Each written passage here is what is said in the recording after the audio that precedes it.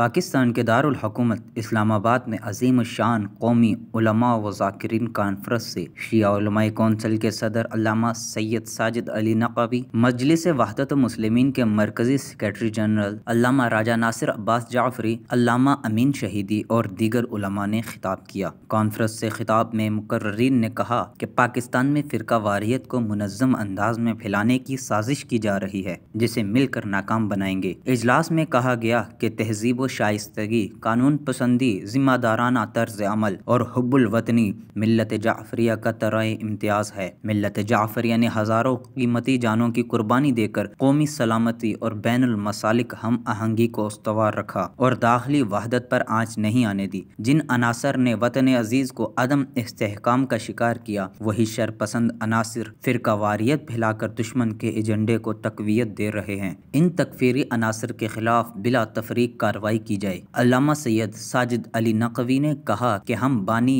इतिहाद उम्मत हैं। M M A और मिली यकजहती कौंसिल के बानी हम हैं। हुकूमत को नोट कराना चाहते हैं कि जो कुछ अब हो रहा है, माजी में ऐसा नहीं हुआ। हम शहरी हकूक पर आँच नहीं आने देंगे। मुस्लिम व गैर मुस्लिम सबको उनके हकूक मिलने चाहिए। एहतजाज सब का हक है, मगर तशद और तकफीर की किसी को इजाज़त नहीं देंगे। मजलिस वहदत मुस्लिम पाकिस्तान के सरबराह अल्लामा राजा नासिर अब्बास जाफरी ने कहा कि फितनागर इस वक्त वतन अज़ीज़ में अपनी साजिशों में मसरूफ़ हैं। उन्हें पहले की तरह की नाकामी का मुँह देखना पड़ेगा। हम इत्तहाद व वहदत के उनवान से मुश्तर इज्तम मुनद करेंगे और रबी में जश्न मिलादुलनबी सल्लल्लाहु को शिया सुन्नी मिलकर मनाएँगे। उलमा जाकिरीन कॉन्फ्रेंस के अख्ताम पर फ्रांस से शाया होने वाली चार्ली एब्डो मैगजीन में पैगंबर इस्लाम हज़रत मोहम्मद मुस्तफ़ा